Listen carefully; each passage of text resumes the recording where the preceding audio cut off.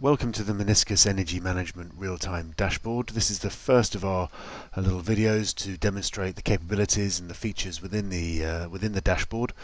Uh, this is used. This dashboard is used to present and uh, display a range of uh, real-time and added value information from uh, clip-on meter electricity meters. In fact, we can use it for any real-time electricity meter or any real-time meter that anyone wishes to use on it.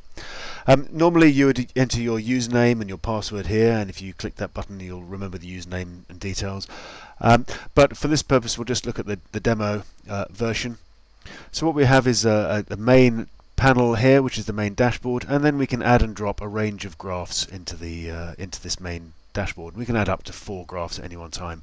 Um, in this particular video we're just going to look at the real-time displays just so to keep it short. Uh, essentially what we can do, this is looking at uh, now the real-time data from a range number of the uh, electricity channels which are uh, delivered by this particular electricity meter um, and we can look at uh, update up, uh, up to one hour, the last, the previous one hour's data. And you can see this is high resolution data. We've got data coming in every six seconds. Uh, this graph will automatically update and it'll shift to the left uh, when it updates every minute uh, interval.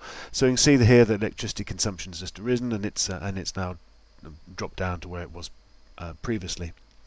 So on this graph, as say, we can select a number of channels, we can uh, look at up to the last hour of data, and in fact we can actually export this raw data into Excel by clicking on this button.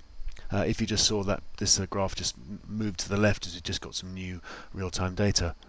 We can also look at the uh, uh data for the last 12 hours or even the last 24 hours. If I just change this, this is now uh, loading up the real-time data for the last 24 hours so you can get a, a very good idea of what your electricity profile was over that period.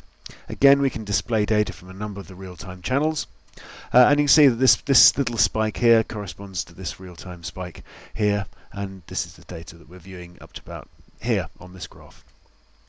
So this is our nighttime consumption, this is the early morning period, oh, sorry, this is the daytime consumption, early morning and then nighttime consumption and the evening, uh, uh, yesterday's evening consumption as well.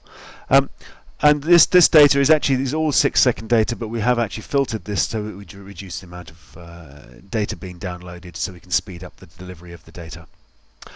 Hopefully that gives you a quick idea of what uh, graphs we've got available in the real-time dashboards uh, and the real-time graphs and other uh, videos will demonstrate some of the other capability.